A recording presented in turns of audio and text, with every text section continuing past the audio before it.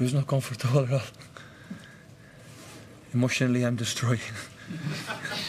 I have uh, I have ten more years today, so no, no, are, it was so demanding game. So now I have to relax and day off. The guys prepare for Leicester again, and after we travel, I know exactly what you have to do there. If you don't perform really well, they are able to score one, two, or three. I know that the players know it. So it's an incredible result.